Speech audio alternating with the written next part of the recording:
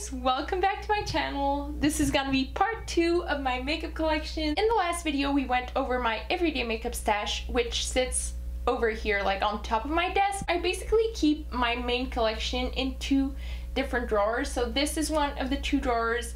As you can see, I don't have the Alex drawers everyone seems to have. I have like big normal drawers and this is how I store my makeup. In this drawer we basically have everything from lips to eyes to face so everything except uh, eyeshadow palettes, face palettes, as well as glitters. Okay, so this is the first little container I took out. On the right, we have mostly base products. I honestly don't have enough concealers or foundations or sprays to like dedicate an entire section to them. So they basically all live together in here. The first product we have in the front is my Linda Hallberg Infinity Glass. It's actually a multi-use gloss that you can use either on face, on eyes, or on lips if you want to. I've never used it on the lips though because if I want a lip gloss I'll just reach for a normal lip gloss formula. Next I've got a few primers. I have my Too Faced Hangover in here it's not my favorite anymore. It used to be, but I kind of grew out of it. Uh, my skin became drier, so I now need more moisture than this can ever bring me. I also have the Smashbox Primerizer. And lastly, I do have the Spotlight Primer by Physicians Formula. This is so intensely illuminating, you guys. It's insane. Like, I don't wear that often because it's so intense. I guess we'll go through concealers next. This is the Smashbox Studio Skin Flawless Concealer and it's awful. Honestly, I hate the formula of it. Um, it's just so crepey and thick, the literal opposite of flawless as it's called.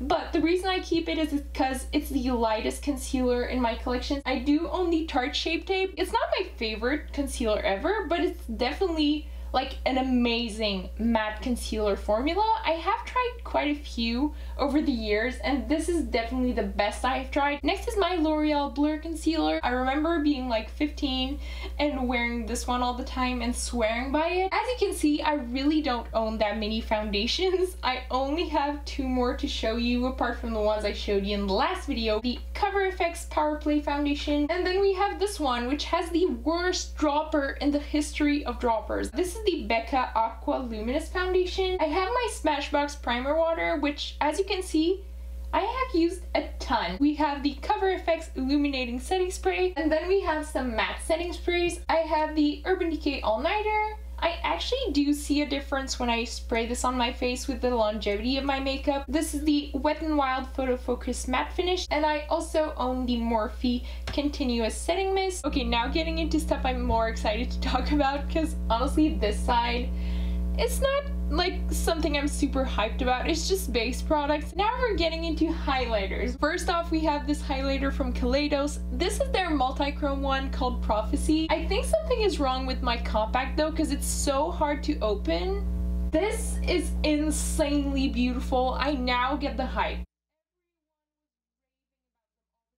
Next, we've got this Too Faced highlight in the shade Blinded by the Light. It's just a soft, glowy, like cool tone champagne. Then we've got a true silver highlight. This is one of my favorite highlights in my collection because it's so unique. This is the shade Platinum Angel from Beauty Bar Baby. It's icy but not too icy. It actually looks really flattering on the skin. Then I've got this Becca highlighter in the shade Lilac Geo. Next is this KVD Metal Crush, one of the best, if not the best, glittery highlight formula I've ever tried.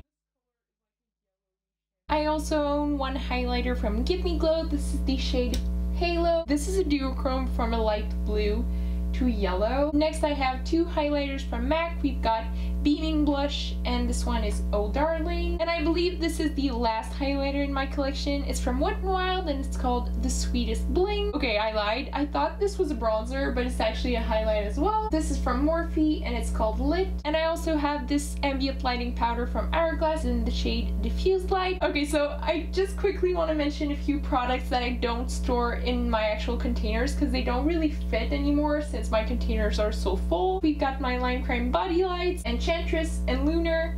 These are insane, just so ethereal and fairy-like. These are also from Lime Crime. They're the liquid highlights. We got Pink Glaze and Blue Ice. In this next little container, we have blushes and bronzers, and over here eyeliners. I have this blush from Jordana in the shade Fruit Punch. Next product is from Moira Cosmetics. It's their Sunflower Beauty Blush Duo. On the inside you actually have super unique shades. You've got a yellow as well as a red. I also own three Super Shock cheeks from ColourPop. My favorite is definitely this one which is called Cheerio. Next is this cute coral called Never Been Kissed and this really cool purple one is called Rain. I also own three more of the Lime Crime Softwear blushes. As I mentioned in my last video, most of them live in my everyday makeup stash, but I do keep a few in here. This bright orange is called Firewall. This is Dark Web. And this last one is one of the glowy blushes, which is called Virtual Orchid. I have this Urban Decay blush in the shade Bittersweet. Next is this glowy blush from e.l.f. This is a stunning blush, but I'm honestly not sure in what shade it is because I ordered the one called Peach something. I don't remember the exact name, but when I got it, like the tag on the back says Brilliant Mauve, so I'm not sure if the tag is wrong or if the shade they sent me is wrong. This is a melt blush and it's called Genesis. It's a bit of a regret purchase for me because I don't use the shade nearly as much as I should. Like, it's gorgeous, but I just I don't find myself reaching for it. I think it's just a little bit too thin for my taste. Next is this Cover FX Blush Duo in the shade Pink Dahlia. This matte side is amazing, like such a good blendable formula. Okay, we're getting into bronzer slash contour. This is from Anastasia Beverly Hills. It's their bronzing powder in the shade Rich Amber. We've got this Brontour from Morphe in the shade Frenemy. And last but not least, in the back I have my Chocolate Gold Soleil bronzer. This one has microscopic gold shimmers throughout, especially in summer. That's when I reach for a lot.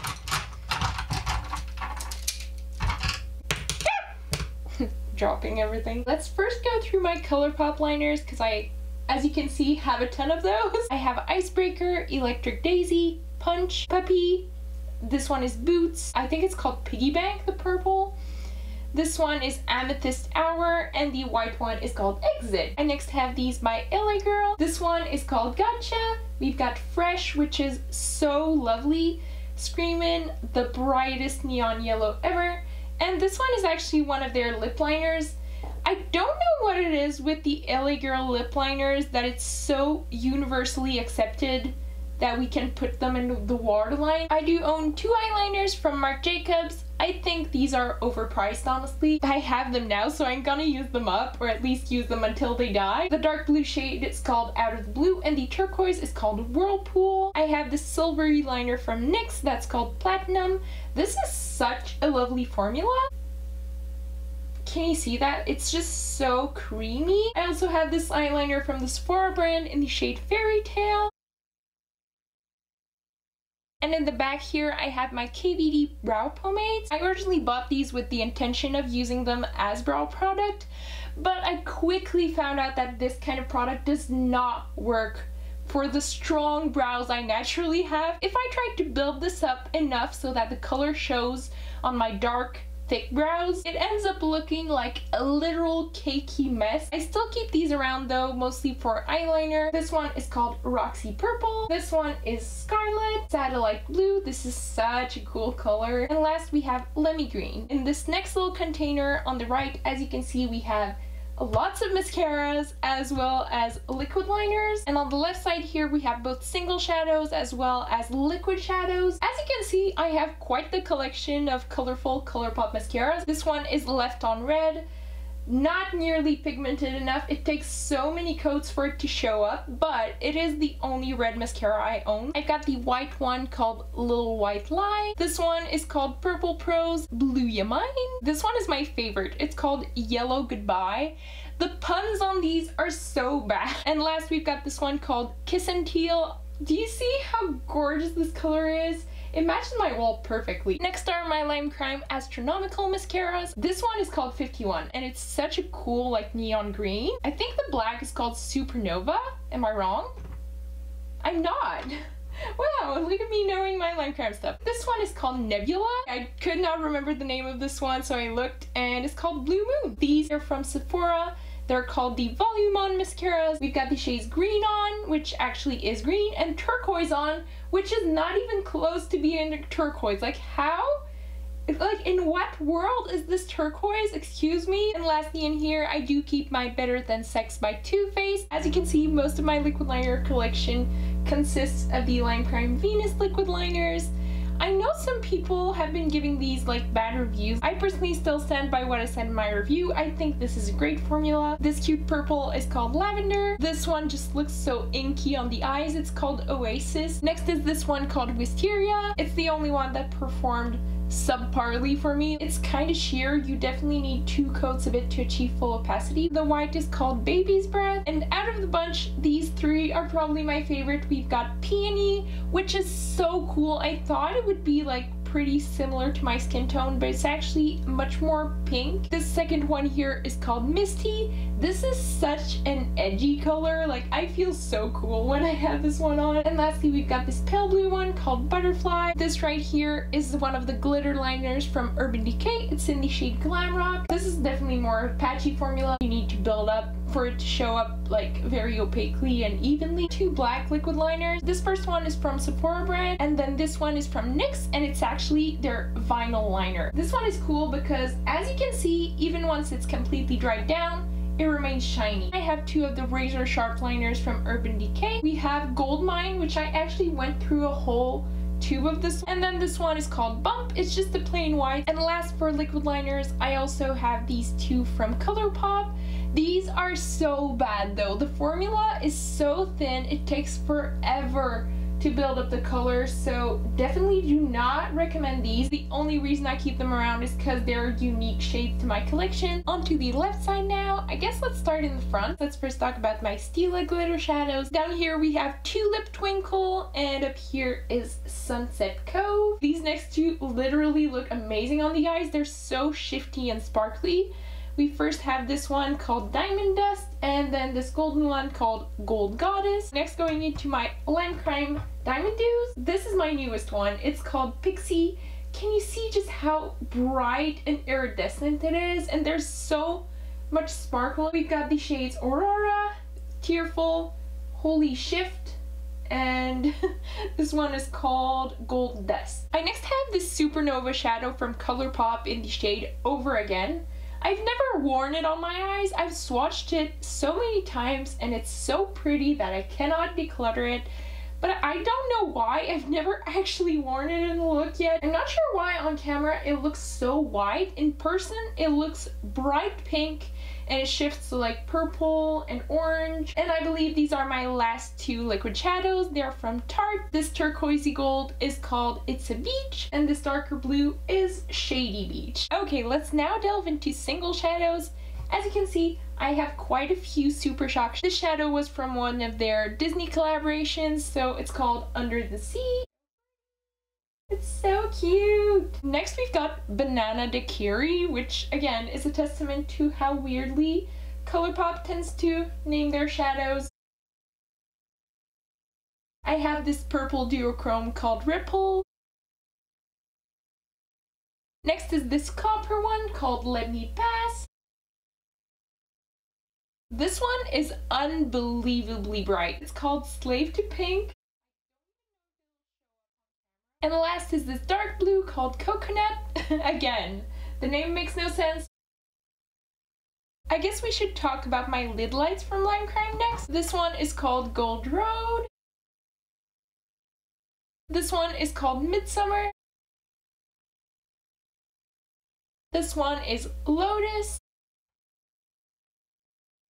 And this last one is called Majestic.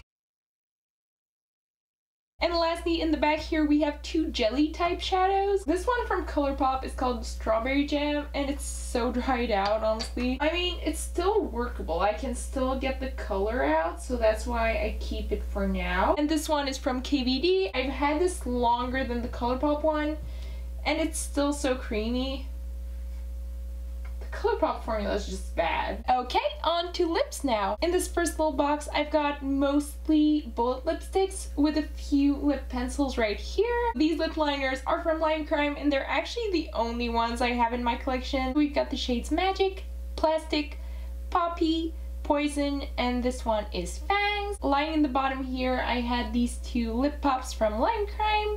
They're basically the shades I don't use as often, Retrograde and the shade Lime Street. Next I have one of the Urban Decay lip mousses here. This one is in the shade Noise. Then we've got my Fenty Beauty lipsticks. I do own one of the Popsicle lipsticks. This one is in the shade Go Deep. It's such a gorgeous blue, but it's so messy, so I don't tend to use it a lot. I also have these three slimmer ones that came in a set. We've got the shades Frost Sauce, no Chill, and Fog Snog. Next, we've got two of the Metalux lipsticks from Impulse Cosmetics. As we get into liquid lipstick, you'll see that I love and rave about those, but these Metalux lipsticks are pretty bad. I originally ordered many more than these two and I ended up decluttering most of them because they are so messy. They're actually in like chapstick packaging which makes them so messy to apply. This shade here is called Feisty and this one is called Chatterbox. I do also have this mini bullet lipstick from Urban Decay in the shade Backtalk. This very fun colored lipstick is from KVD and it's called Marigold. It's so pretty. It's basically almost like a mac and cheese kind of color. Okay, we're now getting into true loves of mine. I love glittery bullet lipsticks and I have quite a few of them and I'm not opposed to getting more. These first two are from Too Faced. We've got the shade Trampula. Next is this purple one called Pixie Stick. I do enjoy the Too Faced ones, but I definitely prefer this MAC Kiss of Stars formula. The shade is called Starstruck. It's this middle one right here. It's kind of like a magenta purple. And last I have these two from Huda Beauty, and this is actually my favorite glitter lipstick formula. It's so smooth, so opaque. It's just so lovely and it lasts so long on the lips. We've got the shades Cake Day and NYE. These next four lipsticks are all from JCat. I own three of their metallics, so we've got Tinky Winky, Back Hug, and Piece It Together. And this last one is in their glossy formula and it's called Russian Spy. Okay, let's next go over my Lime Crime Bullet lipsticks. In no particular order, we've got Airborne Unicorn, Serpentina, October, Doll Eyes, Surprise, my Beautiful Rocket, and this last one is called Poison Berry. ColourPop lipsticks now. I do have quite a few bullet lipsticks from them, but I don't love their formula, honestly. I do like the blurred lipsticks a little bit more. We've got a pure black called Aeronaut. This one is Confetti Cake, and it matches my background pretty well. This cute periwinkle is called Thrill Seeker. I have the shade Tiana from their Disney Princess collab, and these last three are all their blur formula, which I do enjoy more. We've got the shades Fake Love, Super Bloom, and this one is Solo.